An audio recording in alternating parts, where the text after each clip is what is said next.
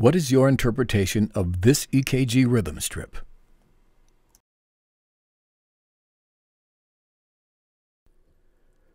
Torsades de Pointes.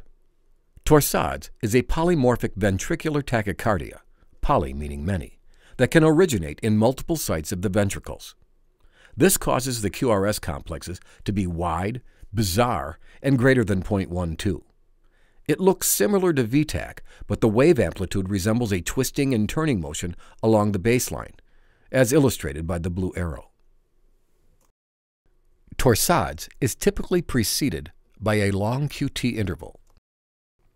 The QT interval is significant when it is greater than half of the R to R interval.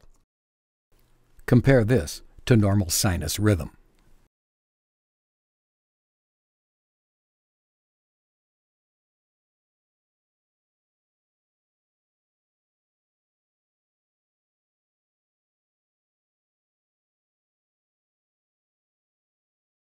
You can flip the comparison strip on the bottom panel to compare this rhythm to normal sinus rhythm.